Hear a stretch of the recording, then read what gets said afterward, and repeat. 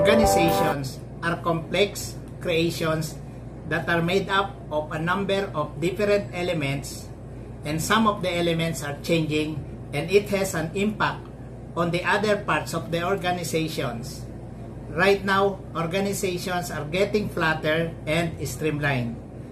We need to do it in order to cut out waste and eliminate unnecessary hierarchy and red tapes. The following slides will help you understand the process of change management. Please subscribe. Shukran.